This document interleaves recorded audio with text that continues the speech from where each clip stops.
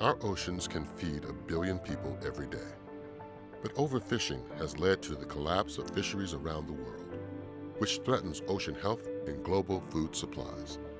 Smart policies can restore our fisheries, but only if they're enforced. Now with Global Fishing Watch, governments can ensure fishing vessels are authorized to fish in their waters and pursue those that are not. Seafood suppliers can see where and how fish are being caught.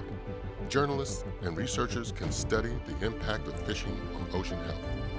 Everyone can see whether vessels are following the rules so sustainably caught seafood can be certified for consumers.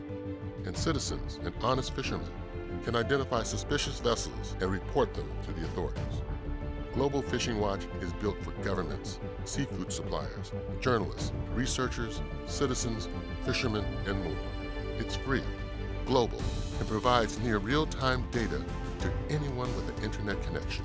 Together, we can make sure that fishing laws are vigorously enforced and our oceans are protected.